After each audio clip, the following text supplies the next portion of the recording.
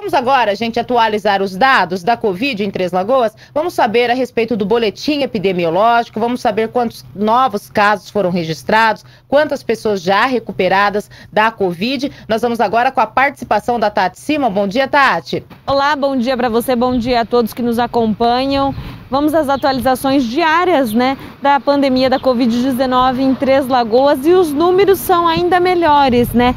Todos os dias nessa semana a gente veio com dados mais confortáveis que os que a gente vinha falando na semana passada e retrasada. E hoje, sexta-feira, a gente vai encerrar a semana com informações mais uma vez otimistas, viu? Claro, a pandemia não acabou, não existe ainda uma forma de, de prevenir, né, uma vacina capaz de prevenir a população. Infelizmente, a pandemia é uma realidade ainda em todo o mundo. Mas aqui em Três Lagoas, o que a gente percebe através dos dados, dos boletins epidemiológicos divulgados todos os dias, é que está tendo um controle maior da pandemia, um controle maior também dos casos ativos. E com isso está havendo menor circulação do vírus, menor contaminação de pessoa para pessoa. Traduzindo isso em números, né, o boletim de, de ontem, né, desta quinta-feira, veio mostrando que dentro de 24 horas 16 casos novos foram confirmados, diagnósticos positivos em 16 moradores de nossa cidade. Por outro lado, 98 pessoas terminaram a quarentena e são agora consideradas recuperadas da Covid. Fazendo uma continha aí, né, uma subtração do total de casos confirmados, que está em 2.308, e de recuperados, que está em 1.884, a gente tem o total de 388 casos ativos. Claro que nessa conta a gente também precisa desconsiderar o total de mortes que ocorreram desde o início da pandemia.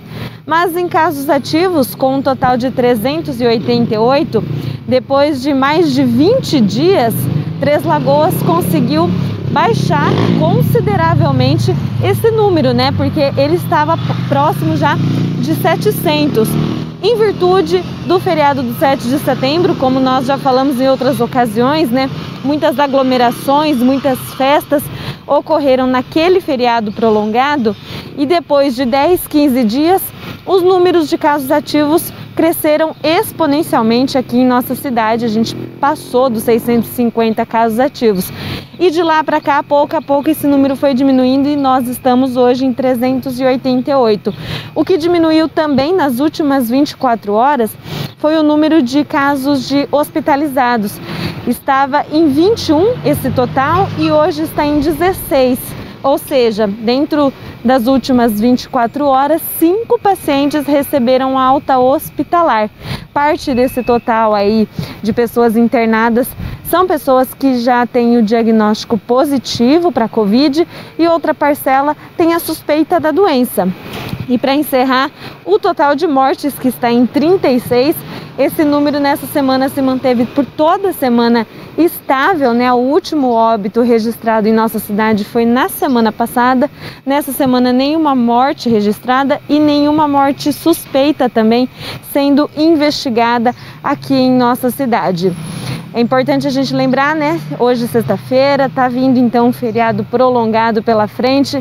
Todas as, aquelas lições de casa não custa reforçar: uso da máscara, do álcool em gel, evitar as aglomerações, manter o distanciamento social para que esses números continuem cada vez mais diminuindo e tendo melhor controle da pandemia aqui em nossa cidade, não é mesmo?